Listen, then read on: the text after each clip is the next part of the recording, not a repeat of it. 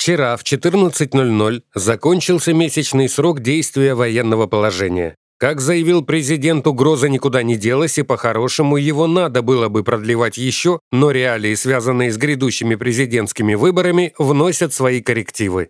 Как бы это печально ни выглядело, но логика в его словах железная. Пока на северо-востоке Украины не появилась новая географическая сущность под названием Северный выгребной океан, нам надо строить свою страну и двигаться вперед.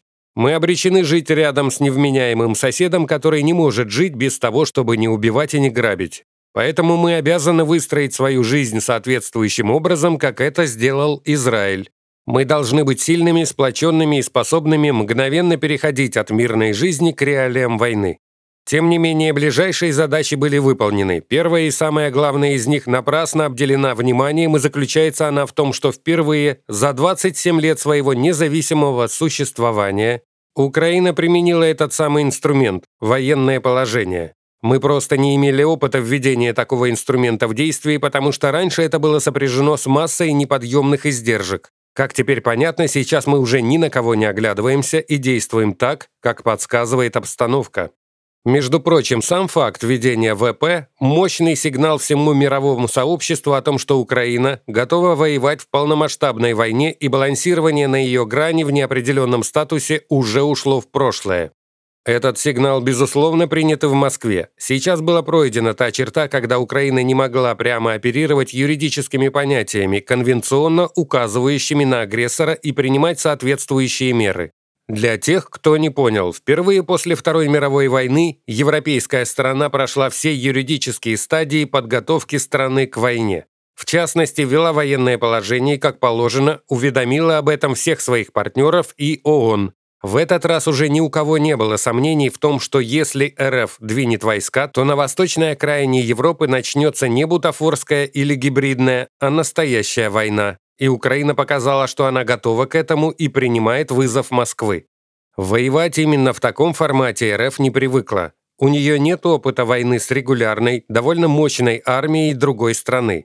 Единственный опыт, который она может записать в актив – война с Грузией. Но сравнивать Украину с Грузией в военном отношении может только клинический идиот.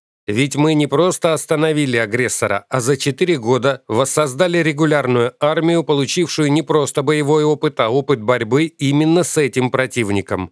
По сути, ВСУ стали остро заточенным оружием именно против российской военной машины, и лучше нас просто никто не сможет воевать с ней.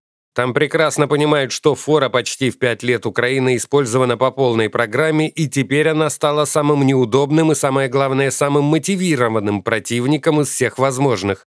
Военное командование теперь имеет реальное представление о том, как работает уже правильная, а не стихийная мобилизация, и что, невзирая на пропаганду противника, под ружье легко встанет огромное количество резервистов, и вот именно с этим никаких проблем нет.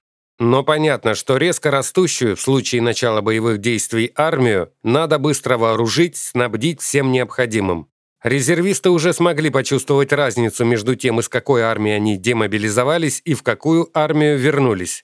Да, впереди еще много работы, но ВСУ уже необратимо изменились. Кроме того, в связи с военным положением ускорились работы по поставке техники и вооружений для ВСУ. В течение месяца плотным потоком пошли в строй танки, бронетранспортеры, самолеты, беспилотники и просто невиданное ранее количество высокоточного оружия от ПТРК до РСЗО. И что было наиболее интересно, в нескольких комментариях проскользнули формулировки, которые обратили на себя внимание, но не нашли ответа в том плане, о чем вообще шла речь. А именно в нескольких местах было сказано, что в войска стали поступать новинки, о которых еще не принято говорить, но которые способны заставить противника заплатить такую цену за вторжение, что ему станет совсем грустно.